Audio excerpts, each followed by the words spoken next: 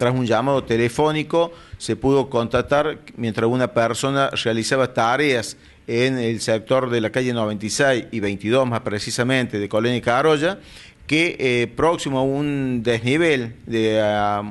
eh, lo que es la calzada,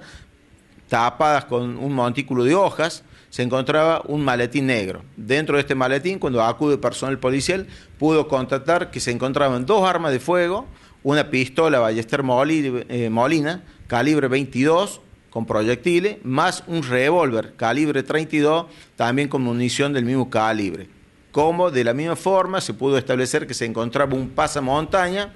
eh, con eh, la finalidad supuestamente estos elementos de cometer algún hecho delictivo, a lo que se le sumó un rollo de cinta de acetato y sogas tal vez para actar a las víctimas. Se procedió el secuestro, se dio participación a la fiscalía y este, se ha remitido por directiva de la misma estas armas para una pericia en policía judicial para ver, determinar si existen huellas al respecto.